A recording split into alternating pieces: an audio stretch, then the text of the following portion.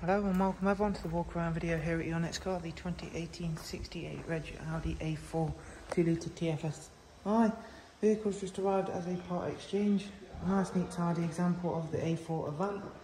If you'd like to know more, don't forget use the links that are available in the description box.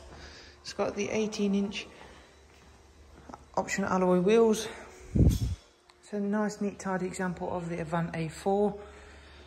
Benefits from the factory privacy glass amongst some other nice options which we'll get into shortly.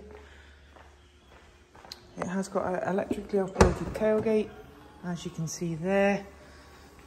Nice big boot size, you've also got folding seats.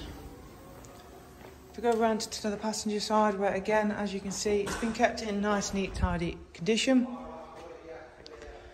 Inside it has got full leather you get full three-seat Isofix rear bench. It has also got heated front seats.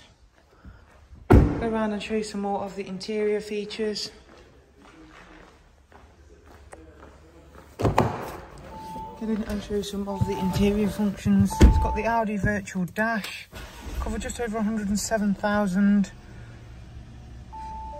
So as you can see there, you can change the view type as well as what you have up in the centre. Benefits from DAB alongside a wide array of multimedia inputs, as you can see again there. Got all of the usual standard features. Has also got the smartphone interface connection, so that's Apple CarPlay and Android Auto. And then if you go all the way around to the vehicle settings, you can see it's not due an oil change for 4,500 miles and an inspection for 3,700.